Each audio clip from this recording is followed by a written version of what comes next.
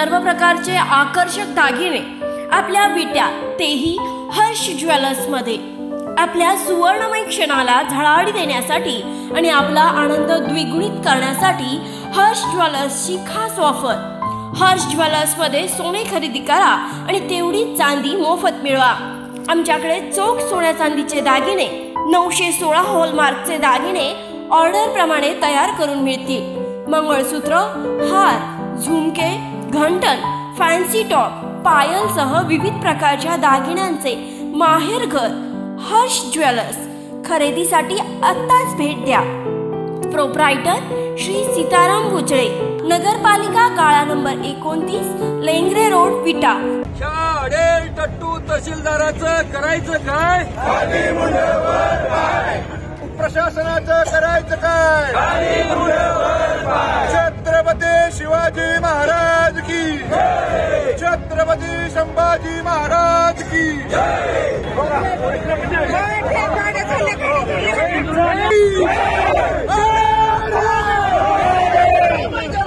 हे आंदोलन चिघळवण्यासाठी जे जबाबदार आहेत त्यांना सुद्धा यामध्ये आपण निश्चितपणानं मागणी करू.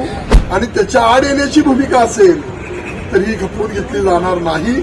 यामध्ये जाणीवपूर्वक गवतानपणा करणारी किंवा जाणीवपूर्वक आंदोलन चिघळावं असं काम करणारे अधिकारी असतील तर त्यांच्यावर कारवाई करण्याची भूमिका आपण निश्चितपणाने घेऊया. त्याच्यावर राजकीय दृष्टिकोनातून कोण खच्चीकरण करण्याचा प्रयत्न केला तर दोन हात करण्याची भूमिका आपण निश्चितपणानं घेऊ. फक्त कोण तर सांगतंय म्हणून जर तुम्ही अशी भूमिका घेऊन जर यांच्यावरती गुन्हे दाखल करत असाल तर फार चुकीची भूमिका आहे. हे या शहरामध्ये आम्ही चालून देणार नाहीत. आणि हे दाखल करण्यामागे कुणाची काय राजकीय भूमिका आहे याचा जोपर्यंत शहानिशा होत नाही तो पण आम्ही सगळेजण आदरणीय काकांच्या नेतृत्वाखाली अगदी चांगल्या पद्धतीने हे भूमिका घेतोय. पुढे चाललेलं हे जे प्रशासन जे कुणाच्या तरी म्हणजे बोलण्यावरती कुणाच्या तरी सांगण्यावरती जे चालतंय की जे लोकाभिमुख असलं पाहिजे.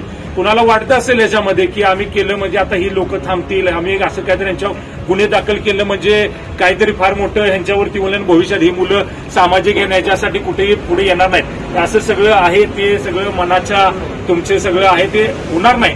आमचे जुने काका आम्हाला आता तुम्ही दाखवून या ह्यांच्यावरती दाखल झालेले गुन्हे माघारी घ्यायला लागले पाहिजे राजकीय दृष्टिकोनातून कुणी खच्चीकरण करण्याचा प्रयत्न केला तर त्याच्याशी दोन हात करू. खासदार संजय पाटील यांचा अप्रत्यक्षपणे इशारा कुणाला? कोणीतरी सांगताय म्हणून प्रशासन अशी भूमिका घेणार असेल तर आम्ही खपवून घेणार नाही. ऍडव्होकेट वैभव पाटील यांचं वक्तव्य. प्रशासकीय यंत्रणेने कोणताही दुजाभाव न ठेवता काम केलं पाहिजे. मात्र विट्यात शंकर मोहिते आणि आंदोलकांच्या उपस्थितीत करण्यात आलेल्या रास्ता रोको वेळी प्रशासन दोन तास उशिरा का पोहोचलं असा सवाल खासदार संजय पाटील यांनी उपस्थित केला आहे. हे आंदोलन चिघळवण्यासाठी कुणी प्रयत्न केले? प्रशासन त्या ठिकाणी पोहोचण्यास उशीर का झाला? याबाबत आपण स्वतः आंदोलकांसोबत जिल्हाधिकाऱ्यांना भेटणार आहे. तसेच हे आंदोलन जाणीवपूर्वक चिघळण्याची भूमिका घेणाऱ्या अधिकाऱ्यांवर कारवाई करण्याची मागणी त्यांच्याकडे करणार असल्याचं खासदार संजय पाटील यांनी विटा येथे बोलताना सांगितले. तुमच्यावर राजकीय दृष्टिकोनातून कोणी खच्चीकरण करण्याचा प्रयत्न केला तर त्याच्याशी दोन हात करण्याची भूमिका घेऊ असा इशाराही खासदार पाटील यांनी नाव न घेता दिला आहे. कुणाच्या तरी सांगण्यावरून प्रशासन चुकीचं वागत असेल तर ते सरळ करण्याची भूमिका घेऊ असंही खासदार पाटील यावेळी म्हणाले आहेत. लोकांची इच्छा होती प्रशासनानं येऊन आमचा ही जी मागणी आहे ती स्वीकारावी. पण का उशीर झाला या बाबतीत निश्चितपणानं जा विचारला जाईल. दोन तास उशीर करण्यापाठीमागं काय कारण होतं? हे आंदोलन चिघळावं याचा कुठेतरी या आंदोलनकर्त्यांना त्रास व्हावा अशा भूमिका जर त्यामध्ये दिसून येत असतील तर याचा जाब आम्ही निश्चितपणानं विचारू. प्रशासन हे कुठल्याही सरकारी यंत्रणेनं यामध्ये कुठलाही दुजाभाव न करता लोकांच्या सेवेसाठी काम केलं पाहिजे. पण अलीकडच्या काळामध्ये आपण बघतोय याला वेगवेगळी कोण वेगवेगळ्या भूमिका आपल्याला दिसून यायला लागलेल्या आहेत. तेव्हा या बाबतीत झालेले प्रकार आहेत त्याची आम्ही चौकशी करू आपण कलेक्टरांच्याकडं कलेक्टरांच्याकडे जाऊ त्या ठिकाणी एसपी आणि कलेक्टर यांच्याशी आपण ही सगळी चर्चा करूया. हे आंदोलन चिघळवण्यासाठी जे जबाबदार आहेत त्यांना सुद्धा यामध्ये आपण निश्चितपणानं मागणी करू. आणि त्याच्या आड येण्याची भूमिका असेल तर ही खपवून घेतली जाणार नाही. ही या निमित्तानं मी तुम्हाला निश्चितपणाने खात्री देतो. जे गुन्हे दाखल केले ते का केले उशीर का झाला कुणी बसवलं इतक्या वेळ ते नव्हते तर दुसऱ्या कुणाला का पाठवलं नाही त्यांच्या वतीनं? या सगळ्या भूमिका उद्या आपण कलेक्टरांची मी वेळ घेतोय कलेक्टरांच्याकडे आपण सगळी मंडळी जाऊ आणि या सगळ्या गोष्टींचा छडा लावून यामध्ये जाणीवपूर्वक गलतानपणा करणारी किंवा जाणीवपूर्वक आंदोलन चिघळावं असं काम करणारे अधिकारी असतील तर त्यांच्यावर कारवाई करण्याची भूमिका आपण निश्चितपणाने घेऊया. एवढीच तुम्हाला या निमित्तानं खात्री देतो तेव्हा या ठिकाणी आंदोलन करताना माझी विनंती आहे तुम्ही एकटे नाही आम्ही सगळे तुमच्या पाठीशी आहोत. तुमच्यावर राजकीय दृष्टिकोनातून कोण खच्चीकरण करण्याचा प्रयत्न केला तर दोन हात करण्याची भूमिका आपण निश्चितपणानं घेऊ. आणि ती तुम्हाला सगळ्या मंडळींना ज्ञात आहे.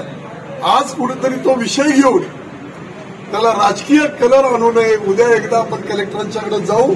हे का उशीर केला गेला आणि याला कोण जबाबदार आहे? याच्या खोलामध्ये जाऊन त्या अधिकाऱ्यांच्यावर कारवाई करण्याची भूमिका आपण निश्चितपणानं घेऊया. एवढीच या निमित्तानं तुम्हाला खात्री देतो समाजाच्या प्रश्नासाठी आपण लढत राहूया. कुठल्याही परिस्थितीमध्ये प्रशासन कुणाच्या तरी सांगण्यावर चुकीचं वागत असेल तर आपल्याला त्याला सरळ करण्याची भूमिका निश्चितपणानं करता येईल. अनेक मार्ग आहेत. तेव्हा वेड्या वाकड्या वळणाला न जाता त्यांनी वेळीच शांतपण घ्यावं. आणि अधिकाऱ्यांनी सुद्धा आपण लोकांच्या सेवेसाठी सरकारची नोकरी करतोय. कुठल्या पुढाऱ्याच्या हाताखाली आपण काम करत नाही ही भूमिका घेऊन अधिकाऱ्यांनी वेळीच यामध्ये आता शहाणं व्हावं ही अधिकाऱ्यांना या निमित्ताने विनंती करतो. एवढी साधी चांगली केलेली मागणी जर करण्याची भूमिका नसेल तर पीडब्ल्यूडीच्या अधिकाऱ्यांशी मी आत्ताच ही झाल्यानंतर बोलू आणि ही घालण्याची व्यवस्था तुम्हाला चार दिवसामध्ये कोणत्याही परिस्थितीमध्ये आम्ही करू. हाही विश्वास तुम्हाला या निमित्तानं देतो. आंदोलनकर्त्यांना त्रास व्हावा त्यांची अडवणूक व्हावी म्हणून त्यांच्यावर गुन्हे दाखल करण्याचा प्रयत्न करण्यात आला. कोणीतरी सांगताय म्हणून प्रशासन अशी भूमिका घेणार असेल तर अशी भूमिका खपवून घेणार नाही.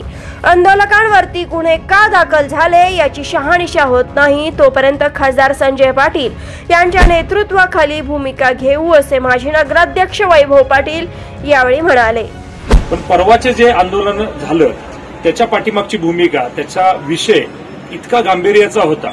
तो गांभीर्याचा विषय बाजूला राहिला आणि प्रशासनानं कोणतं सांगतंय म्हणून कुणाला तर बरं वाटावं म्हणून आणि काही ह्या आंदोलन करते ते आता आमच्यावर नाही आहेत म्हणून त्यांची कुठेतरी अडवणुकीची भूमिका व्हावी त्यांना कुठेतरी त्रास व्हावा ह्या दृष्टिकोनातून.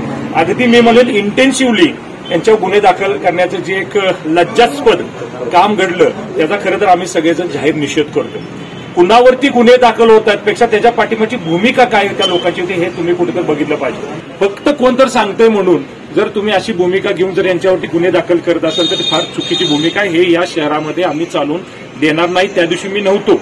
अनेक न्यूज चॅनलने अनेक जणांनी सांगितलं की मग तुम्ही फक्त मतापुरतं येता का वगैरे वगैरे. असं काय नाही.